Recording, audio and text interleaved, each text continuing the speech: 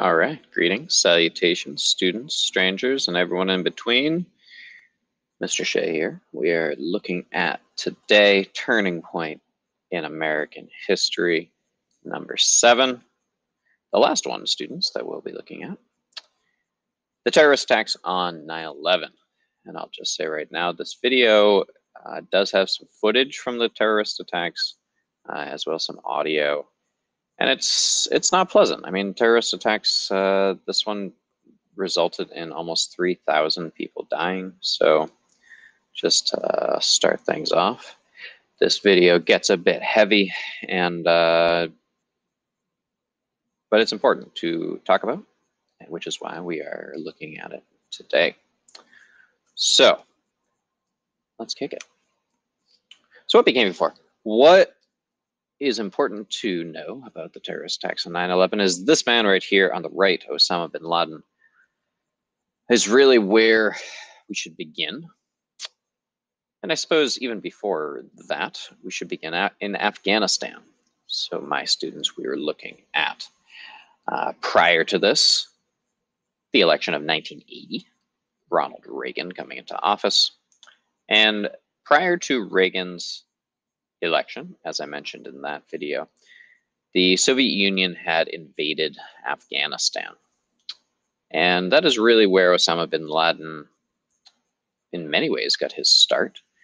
Bin Laden was born to a very prominent, very wealthy construction family. His father had the construction contracts in Saudi Arabia and a variety of Middle Eastern nations. So his family had a great deal of wealth. Bin Laden was born into uh, this wealthy family, went to university, but ended up going to Afghanistan to fight with the Mujahideen, which is the uh, Afghani forces that were fighting against the Taliban. Those forces were funded by the United States because they were fighting against the evil Soviet Union, the communists. So America, the famous saying goes, the friend of the enemy of my enemy is my friend. And the Mujahideen were very much the enemy of the Soviet Union, thus were friends of the United States. So they received weapons, they received training from the Americans. So bin Laden fights in Afghanistan, starts very much getting radicalized. As a youth, he was into poetry. He uh, definitely was very interested in religion, but I wouldn't say was a radical youth. But this is really where Bin Laden becomes much more anti-American and pro-violence. And some of this even before, we'll go back a bit further here, begins in the 1940s. So 1948, the United Nations announces the creation of the nation of Israel after the Holocaust and after World War II.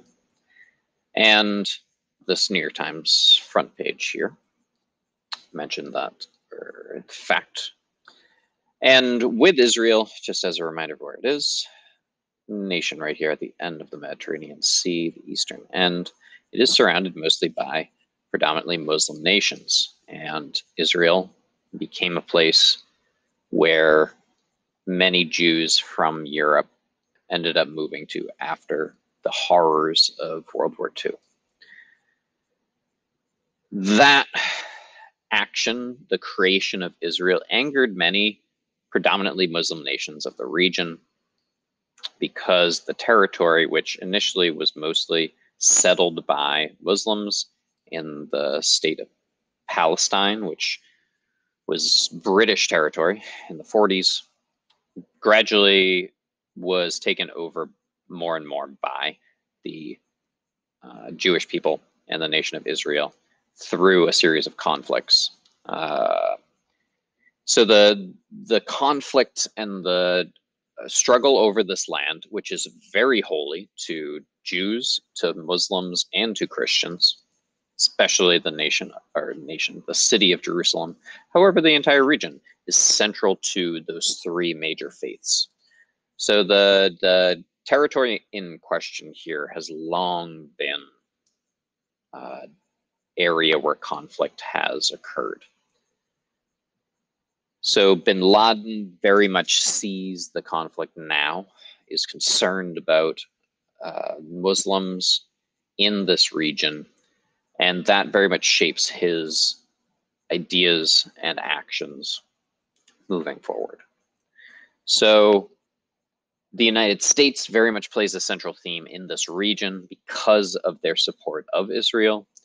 And that results in a lot of anti American sentiment in the region. You see this photograph here uh, of people burning the American flag.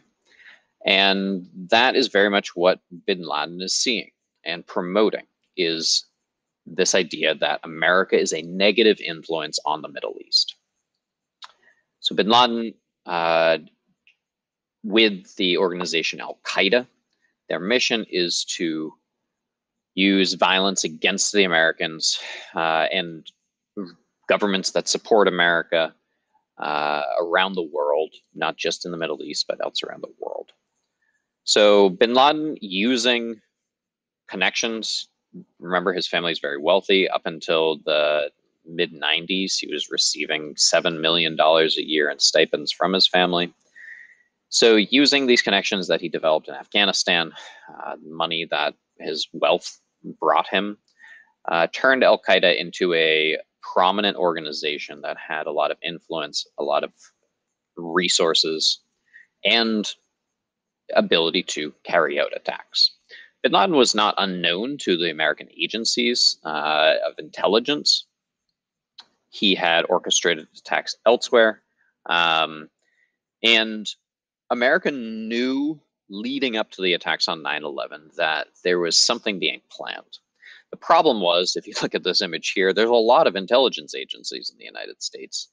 And what was revealed in the investigations after the attacks is they did not share their intelligence. The CIA knew some things, the FBI knew some things, but that intelligence was not uh, shared and really understood to the extent that we now know it. And it was a huge intelligence failure and what was revealed in the government investigations afterwards. So Osama bin Laden coordinates with other members of Al Qaeda to attack the United States using airplanes because they saw there was uh, holes in the security when it came to airlines in America and around the world at this time. So that then leads us into the events on 9-11. So I'm going to show you a bit of a video. This is from the TSA, Transportation Security Agency, that was released a few years after the attacks on 9-11 and it edits together some footage, some audio. Uh, so I am going to let this play. It is sad. Uh, it, some of the images showed the planes crashing into the Twin Towers. So it's about four minutes long. Uh, I'm just going to hit next, and that's going to start playing, and then I'll move on afterward. American 11, are you trying to call? The cockpit is not answering their phone. Our number one has been staffed, and our five has been staffed. Sam call from Washington. I am in a situation with American 11, a possible hijack. What's going on, Betty? The crap is erratic again. Problem very erratic.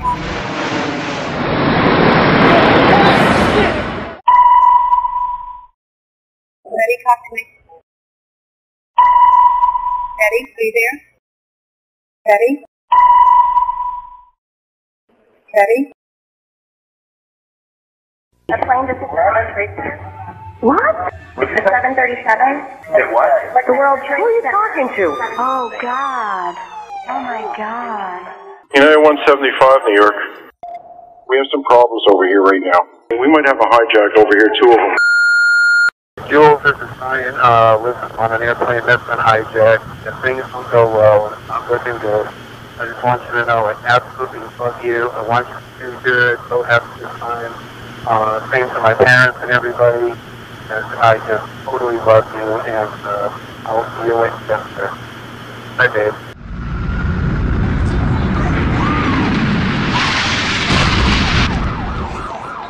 What are those people gonna do? All, all the elevators are blocked out. Oh, my God. So both towers are now. Okay, now I got an aircraft six miles east of the White House. Hello? Crystal City, just north of Crystal City. Uh, just to the north of your town. Yeah, stop all departures. Pentagon just got hit. No for CNN. God damn, I can't even protect my NCA. United 93, that traffic for you is 1 o'clock, 12 miles eastbound 370. Negative contact, we're looking, United 93. Hey! United 93, Cleveland, if you hear the center right then. I got the pitch to dock, keep remaining sitting, you have the ball aboard.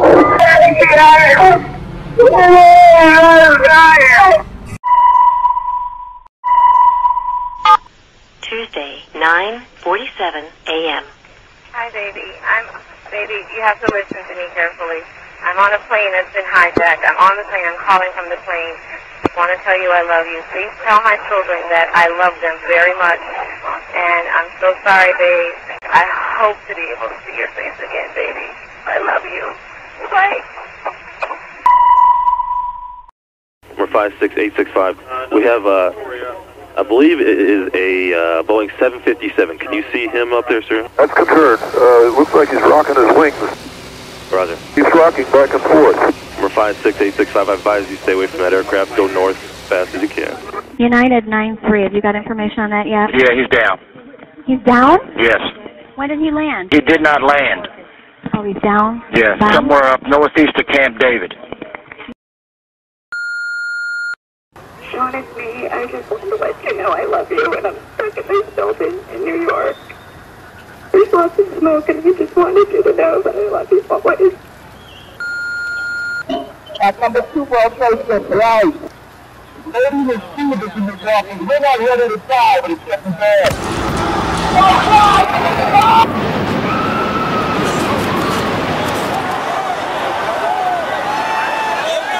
the 83rd floor. I'm gonna die, aren't I? No, no, no, no, no, no. Say I'm gonna die. Liv, live, live. Say your prayers. we're going to think positive because you gotta help each other get off the floor.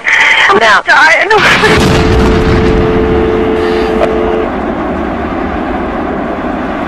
A new type of war. That's what it is.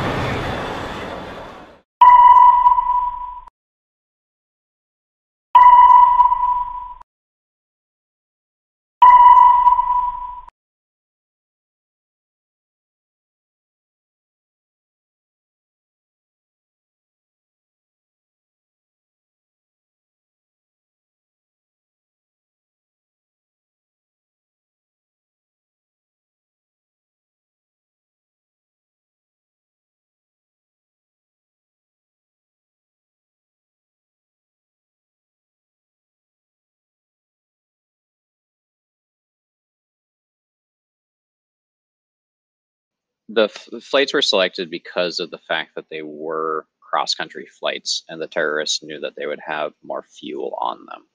And when we talk about terrorism, I think it's easy to discredit terrorists as crazy or stupid, but that's very much not the case. Terrorists think things out. Osama bin Laden was a smart man, evil, but you don't want to underestimate evil people because evil people can do terrible things, especially if they're well planned.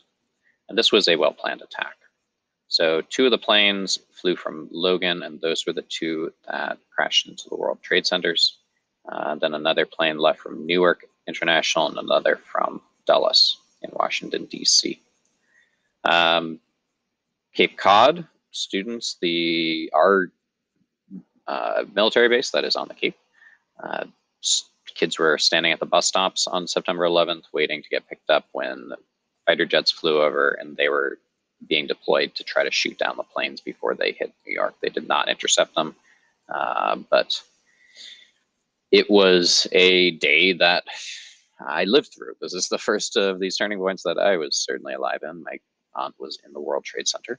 Uh, she got out, but that day and the aftermath of it was horrific. And if you look at this chart here, 2,996 people died on that day.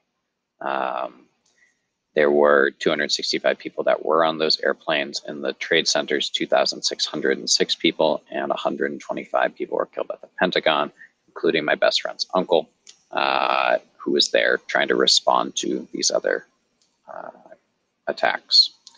So not only was it just the number, it certainly at especially the World Trade Center, uh, there was a huge number of firefighters, 249 firefighters were killed there while responding to the attacks, 71 law enforcement uh, and EMS members as well. This was the biggest attack on America since Pearl Harbor. And not only did we see huge numbers of the attacks uh, killed that day, but also afterwards. So the aftermath of this, uh, there's been hundreds of fire department and law enforcement members in New York that have died because of illnesses that came out of uh, cleanup from the attack, inhaling the dust from those buildings. Uh, so this isn't something that was just isolated. It did continue for a while afterwards. Now, this is a photograph of uh, the ground zero, the World Trade Centers, where they were destroyed and collapsed. So New York City had months and months, years of cleanup and rebuilding that it engaged in. Uh, if you've been to New York recently, you have the One World Trade Center tower that has been built, um, and a lot of these other buildings nearby were torn down and rebuilt as well. So physically, the damage was immense. Uh, Human-wise, the damage was immense. And the response then the government had to figure out. And a lot of things did happen afterwards.